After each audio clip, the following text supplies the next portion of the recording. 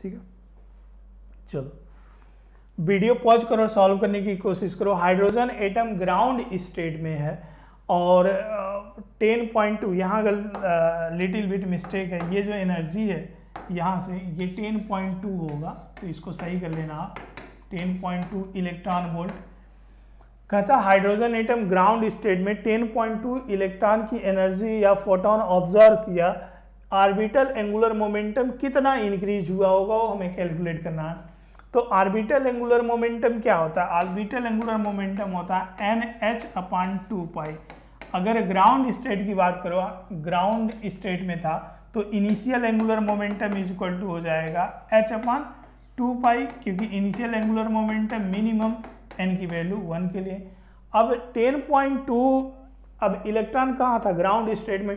अब 10.2 इलेक्ट्रॉन का एनर्जी या फोटोन ऑब्जॉर्व करके कहाँ जाएगा यार?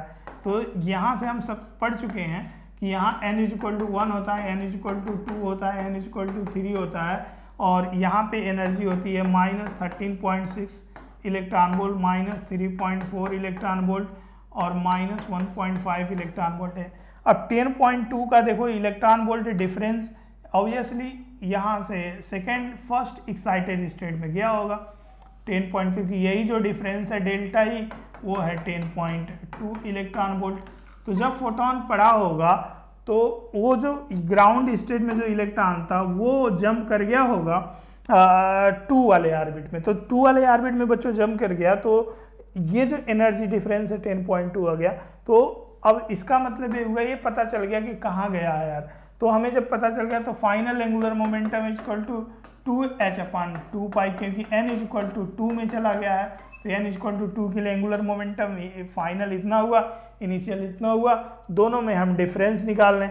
तो अगर हम दोनों में अगर डिफरेंस निकाल लें तो फाइनली जो है increase in angular momentum final में से इनिशियल घटा दो तो एच अपान टू पाई और minus h upon two pi तो ये घटा दोगे तो एच अपान टू पाई अब ये कैलकुलेट कर लेना टेन की power minus thirty four order के आता है।